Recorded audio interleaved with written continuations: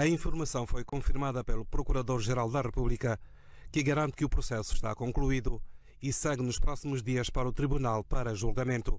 Segundo ainda o Procurador-Geral da República, antes da conclusão do processo, foram ouvidos em instrução preparatória algumas figuras ligadas ao aparelho do Estado que estão arroladas no processo que levou a juíza Isalgina Gamboa à renúncia do cargo de presidente do Tribunal de Contas.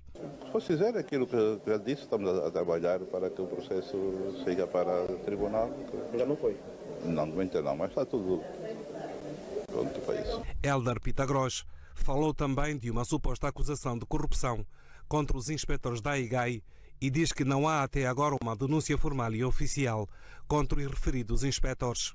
Bem, nós vamos tendo conhecimento por aquilo que vamos falar, vamos ouvindo termos oficiais, não temos tido estas denúncias, mas nós com a IGAI temos uma relação institucional muito boa e que tendo chegado ou chegando ao nosso conhecimento essas reclamações, essas denúncias, de certo que iremos abordar essa questão com o Inspetor-Geral.